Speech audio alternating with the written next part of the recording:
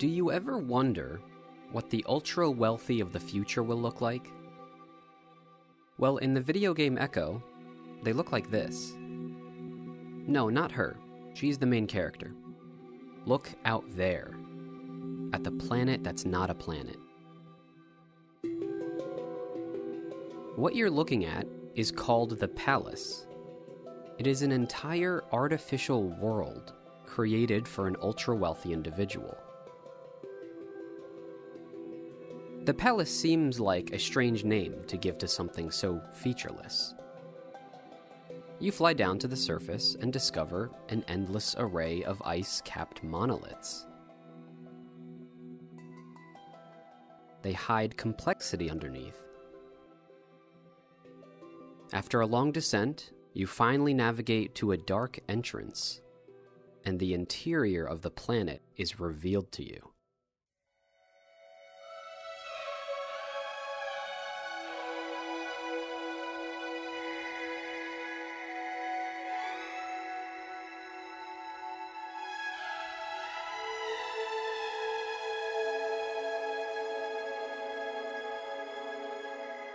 It turns out that, if anything, the title of palace was an understatement.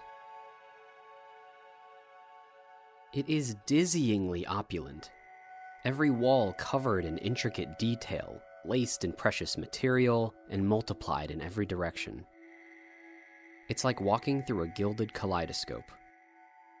I typically dislike such busy visuals in game environments, but here I am mesmerized. My eyes are feasting on the excess of shiny and expensive things.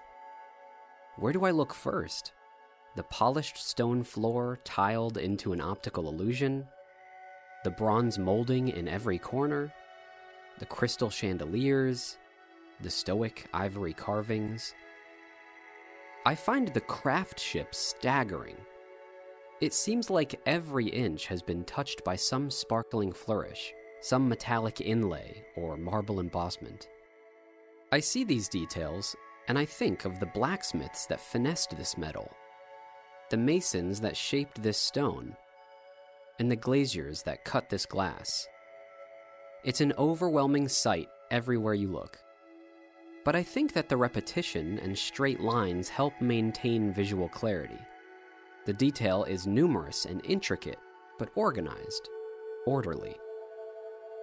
The four way symmetry of the rooms also lends to this sense of order. And you won't find a single spot of dirt or dust or tarnish. The palace seems to be completely sterile, ensuring none of the work is diminished by time. Every surface is meant to dazzle and confuse, and it works.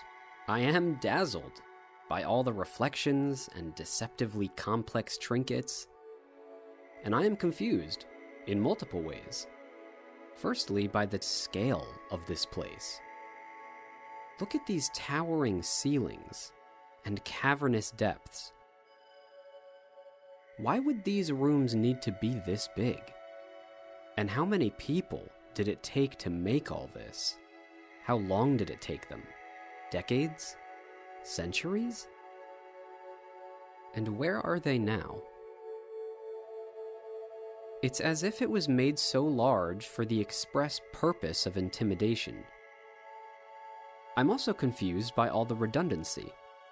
Fabulously ornate chairs that would each cost an eye watering amount, present in more numbers than make sense, neatly organized to face nothing of clear import. Vases and pillars and tables and stools of impressive make placed as frequently as if they were a dime a dozen. The palace is not just luxurious, it is absurdly luxurious, on purpose. As you descend deeper into the palace, you find new areas, but the same superfluous extravagance. Tables dozens of meters long, full of food that no one will eat, instruments that no one will play a labyrinth of rooms and corridors intersecting under and over each other and leading nowhere. It seems to be a place pretending to be for human use, and not doing a very good job at it. It's not long before the palace's bright facade of beauty can't help but give way to its sinister face.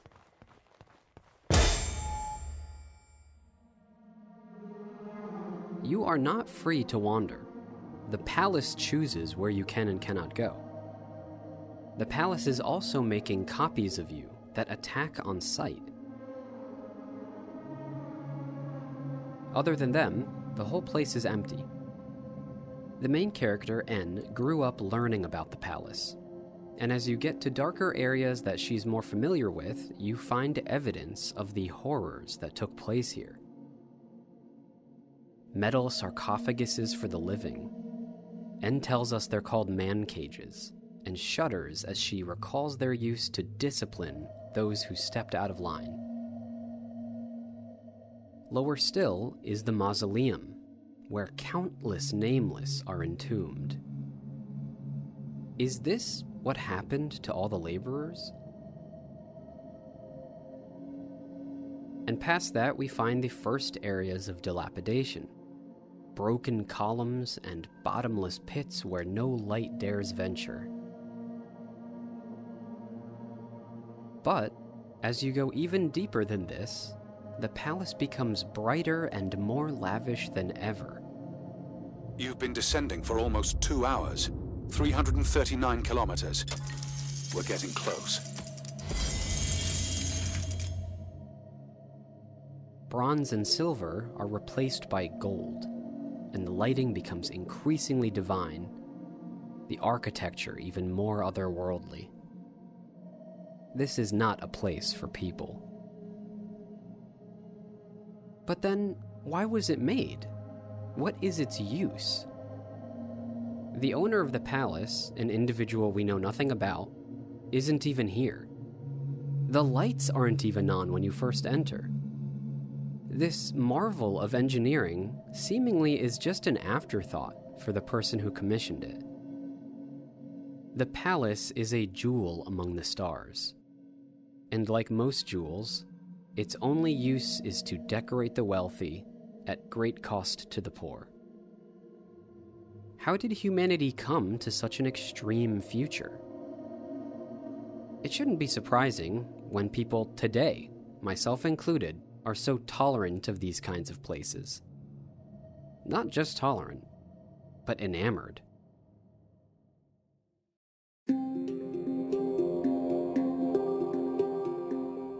Throughout history, the human made places that impress us the most are often the ones made for the wealthy.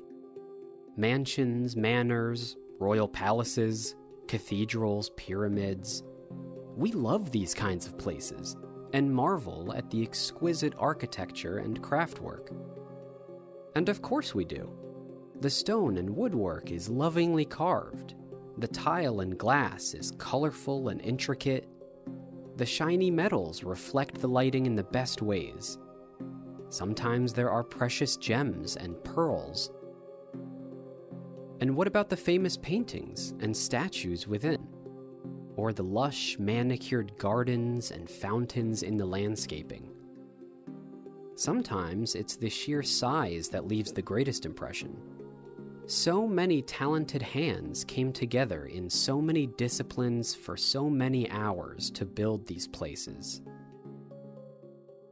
I find them beautiful and inspiring. But most of all, I find them infuriating. These places are shrines to concentrated wealth, commissioned by pharaohs and kings and emperors and otherwise horrifyingly wealthy families. All this effort and expense and time put into making something just for them.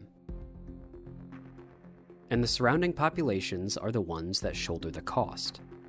Taxes or tithes or tribute, whatever name they want to put on it, these luxury properties were paid for by the many, only to be enjoyed by the few, and built by the talented to be inhabited by the talentless. And as if they had any hand in crafting them, the worthless wealthy are so proud of these structures. I think they should be embarrassed. What's worse, just like the palace in Echo, these places are often empty. Maybe they're only used as summer homes, or they're just forgotten by the owners who have many such properties. Yet they remain exclusive, becoming nothing more than astonishingly expensive paperweights. Sometimes, like in the case of giant tombs, the uselessness of these places is the purpose. It's not just an issue of wealth concentrating at the top, it is a concentration of beauty. I think a part of why these places are so beloved is because they remind us of the heights of human artistry.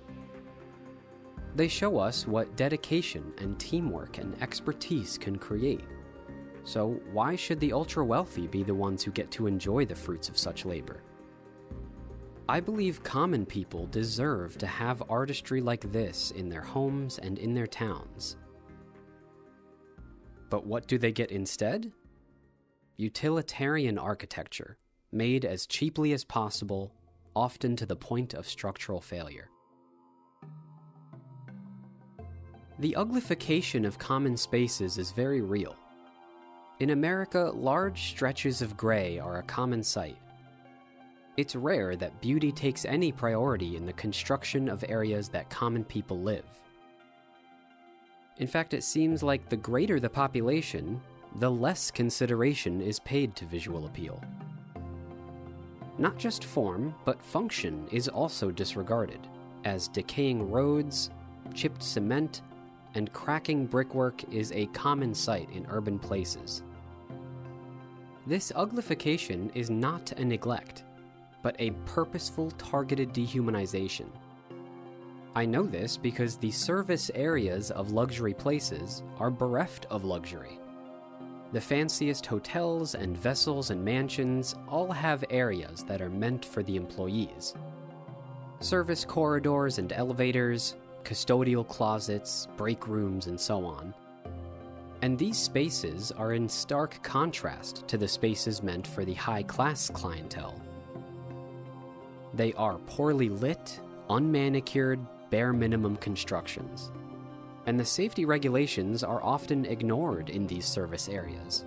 So the people who work at the lowest rungs of the establishment must do so in more dangerous conditions. And all you'd have is a candle to light your way. If that. You might not have even had anything to light your way, just the light at the end of the tunnel. This is true of the palace as well. In between the main areas is a network of thin bridges and balconies with no railings, presumably meant for those that maintained and repaired the palace. The aesthetic of these areas could not be more different than those found within the palace. And so it seems, just like in real life, even with all that wealth, the owner decided that the people who actually provide the most value, the laborers, are given the least consideration.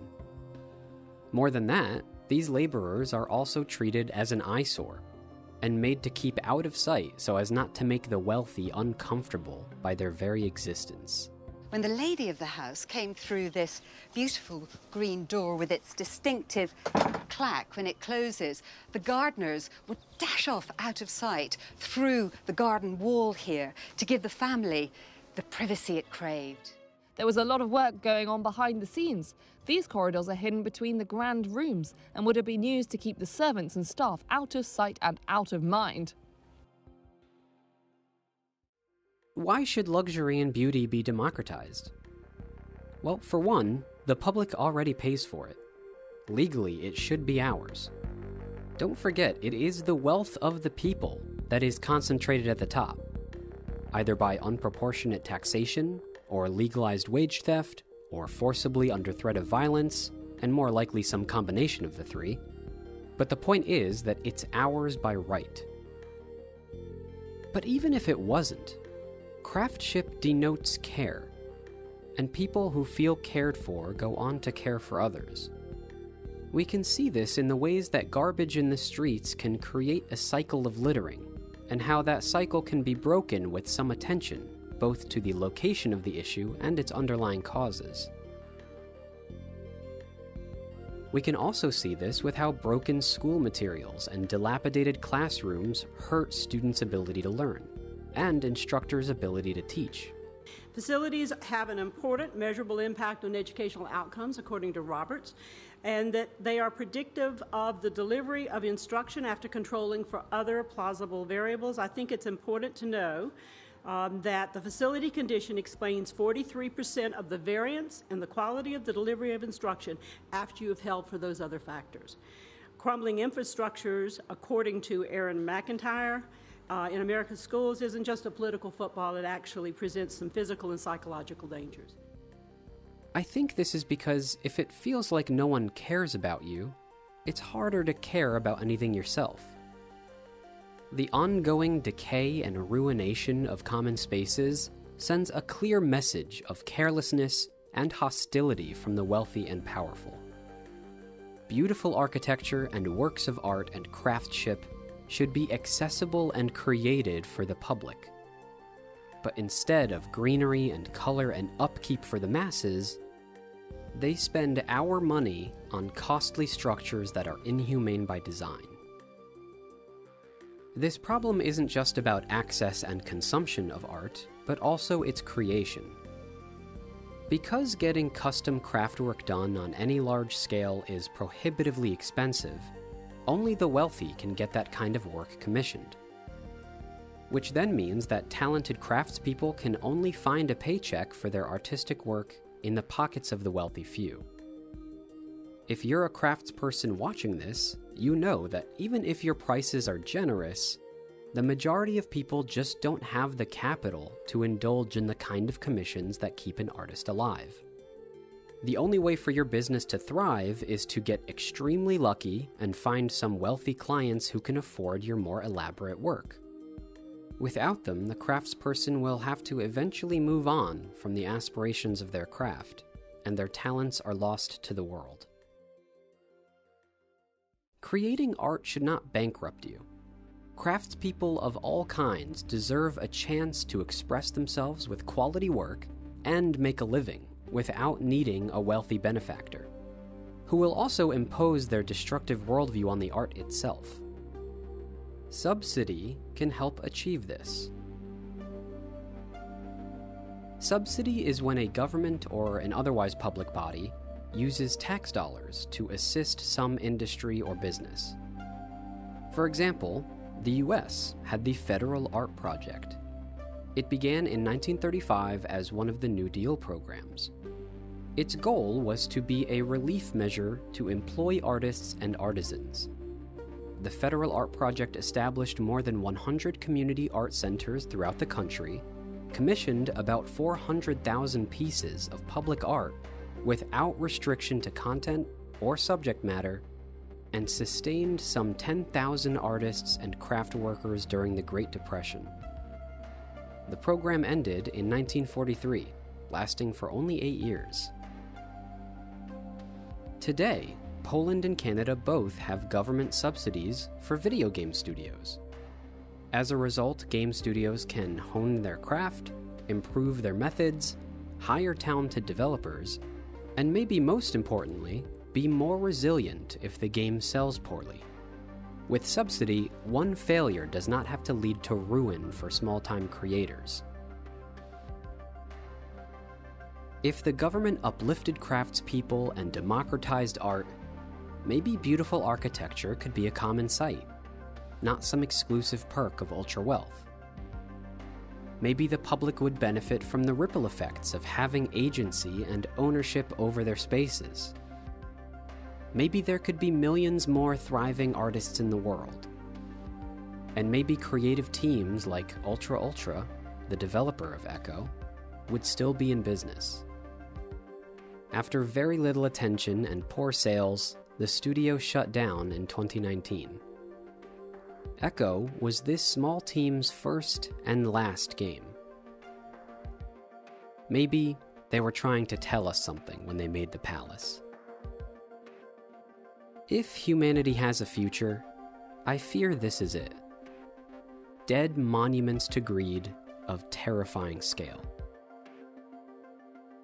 when it should be widespread artistry, subsidized by the public, built by the talented, and accessible to all.